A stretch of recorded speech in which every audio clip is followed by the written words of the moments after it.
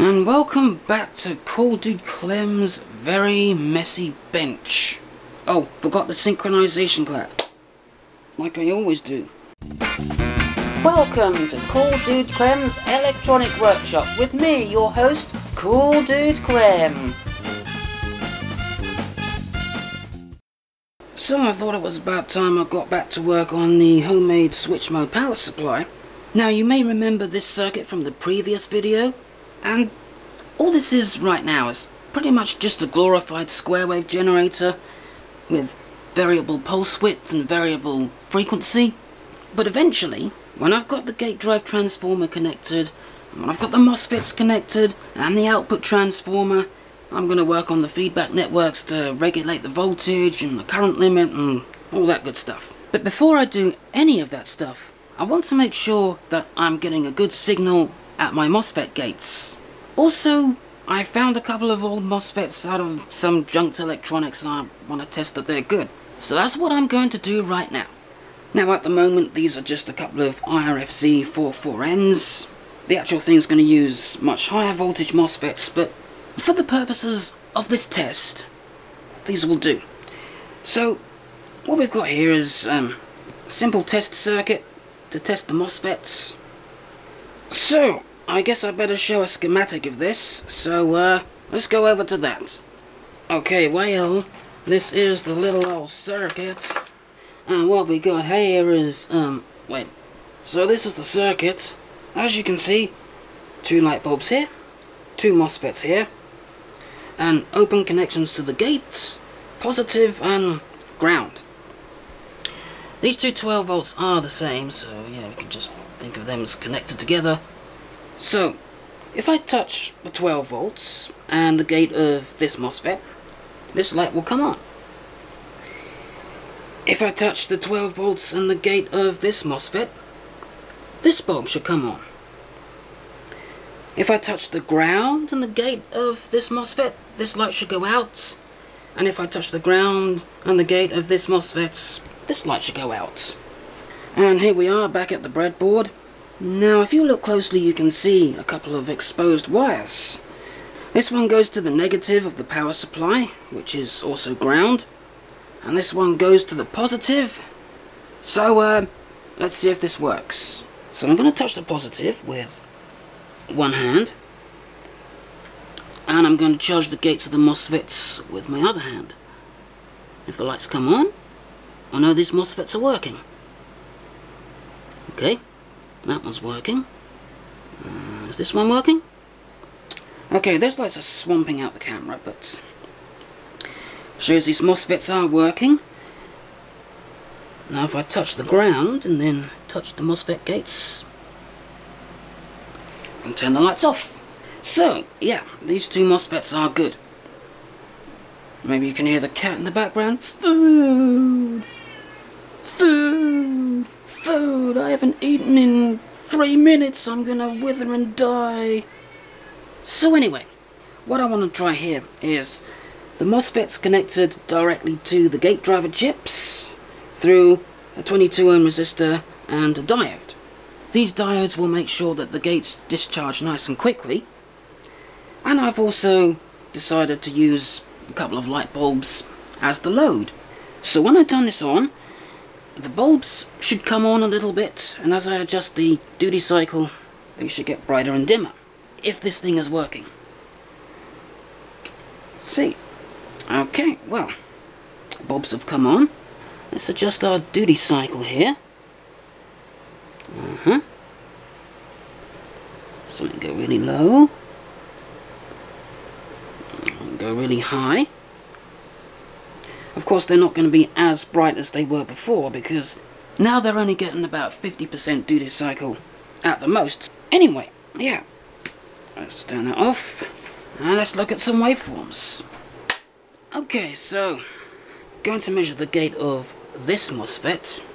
There's no reason, no need to measure both of them because both of them are going to give us the same thing.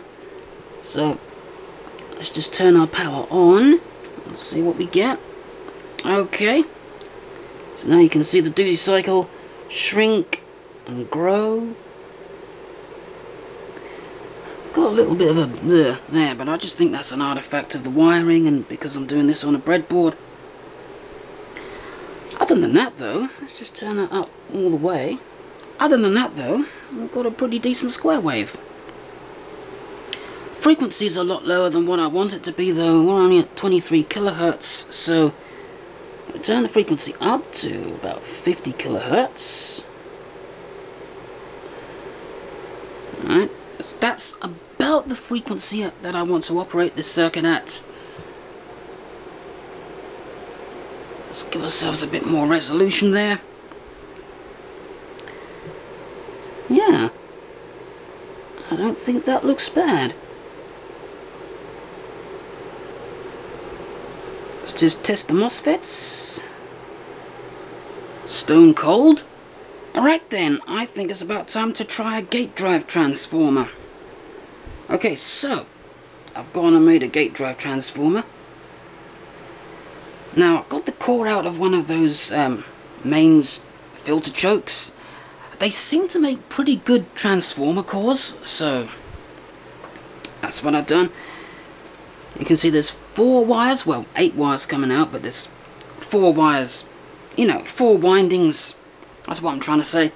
So each winding is about 12 turns each, so I am going to plug this in and see what kind of output we get. Okay, so this is what I want to try now. So, as you can see, we've got a gate drive transformer now, and you can see how the MOSFETs are connected. One thing I haven't mentioned, which I really think I should mention, is remember how I said there's four windings on that gate drive transformer? Well, two of those windings are in parallel, like that. Just works a little better that way. So anyway, as you can see here, got two light bulbs in the circuit. One light bulb is connected between this the upper MOSFET's source and the ground, and this light bulb is connected between the lower MOSFET drain and the plus 12 volts. Now what I want to see is both of these light bulbs coming on at the same brightness. I'm a little bit skeptical as to whether this circuit's going to work. I don't think it's going to work all that well, but let's give it a try and see what we get. Okay, well this hasn't gone so well. If I turn the power on, you can clearly see one bulb is brighter than the other one, and if we look at the waveform we're getting, yeah, this is at the lower MOSFET, and we'll just see what the upper MOSFET's doing.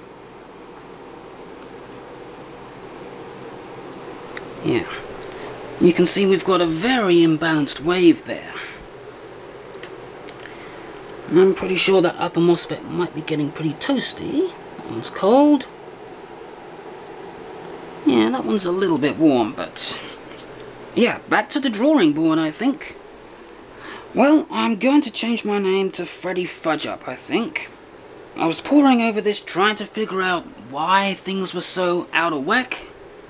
I wired the transformer up wrong. Just a moment ago my camera was too dark and now it's too bright. Still getting an imbalanced waveform though. If I turn the thing on we can still see one bulb is brighter than the other. So I'm going to try another way of connecting the transistors. But before we do that, let's just take a look at the waveforms at the MOSFET gates. After all, we haven't seen what the waveforms look like with the MOSFETs unloaded. So, yeah, that's what I'm doing here. I forgot to say that. So, let's take a look at our upper MOSFET here. See what that's doing. I just bashed the camera. Got a pretty clean positive, but yeah, I don't like this negative going into the MOSFET gates. I'm sure that's going to be the same for the lower MOSFETs. Let's just put that back in, or we will get an imbalanced signal. Right. So, lower MOSFET, if I can just get that in there, without shorting anything out with my clip leads. Lower MOSFET gate. Yeah, it's pretty much the same story. Okay, well, I was just not happy with that waveform. So, I decided to go back to the original way I was going to connect the MOSFETs in the first place, which is what you can see here. And, well, let's have a look at what kind of waveform we get from this. So, let's take a look at the waveforms that we have at the MOSFET gates. The circuit is on right now, so I'm just going to probe the upper MOSFET gates, see what we got. Oh, that looked good. Get that on there properly. Wow, look at that. That is a good gate driving waveform. Let's see what we got at the lower MOSFET. Hopefully we have the same thing. Just much easier to probe there than at the actual MOSFET gate. Yep. It's very hard to actually reach in there and get to the MOSFET gate. I can just get my probe there, we can actually see it. Yeah, we got a good waveform. Okay, now I want to try this. As you can see, we've got two light bulbs in the circuit, and this is basically the same circuit as this, except drawn a little bit differently. And of course, instead of a diode and a resistor at the MOSFET gates, we have all of this stuff. Now, what I forgot to mention with the previous circuits, this one is that both of these 12 volts are the same supply, and that goes the same for this circuit as well.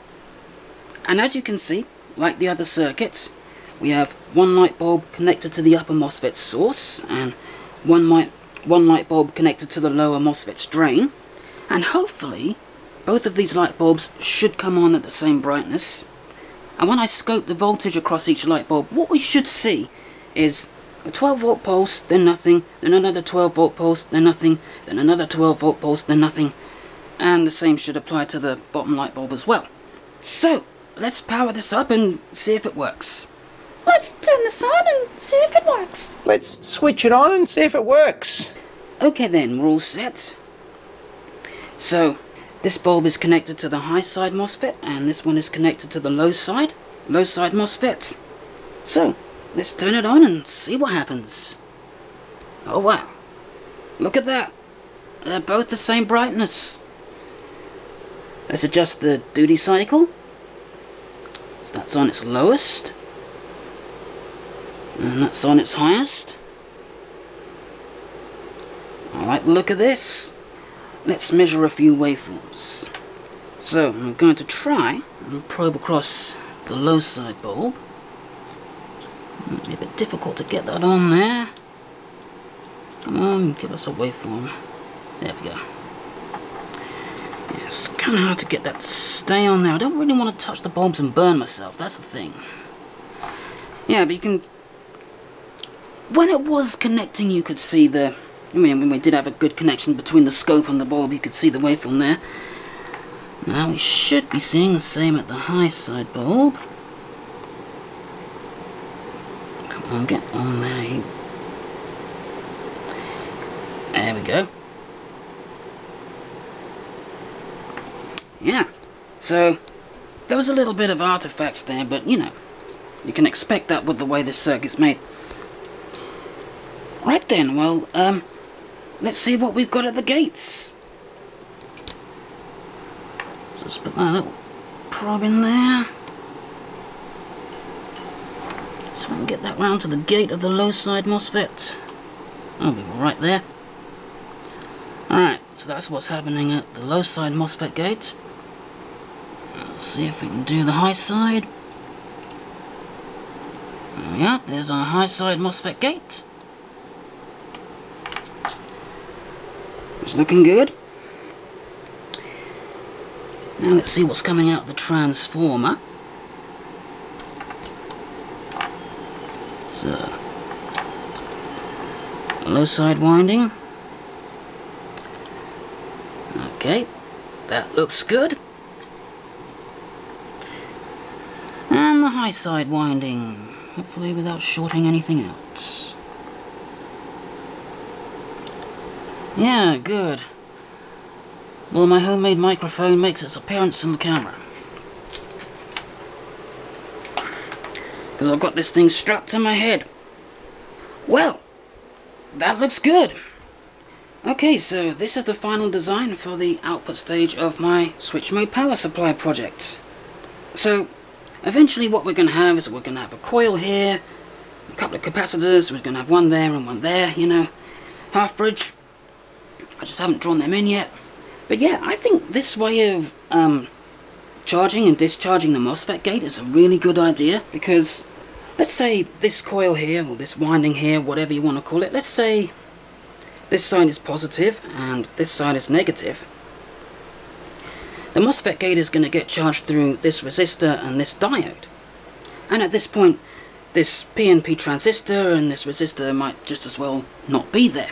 But when the output of this coil is neutral, or we have negative here and positive here, this transistor will turn on, and it will discharge that MOSFET gate pretty much instantly. So there's very little chance of shoot through, you know, both of these transistors being on at the same time.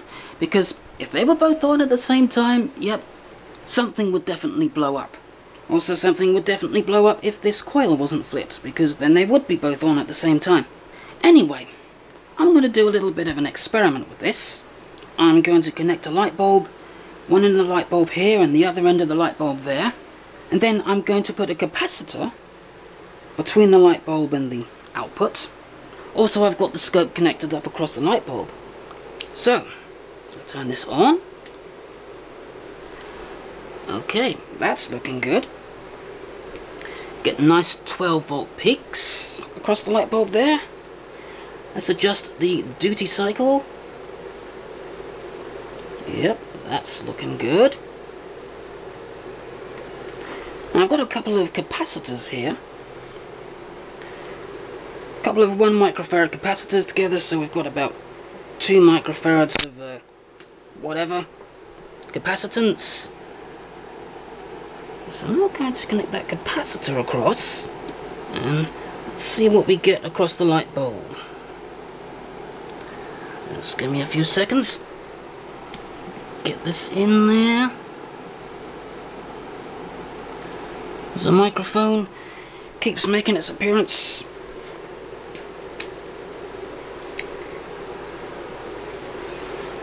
Well, we seem to have lost a little bit of voltage, but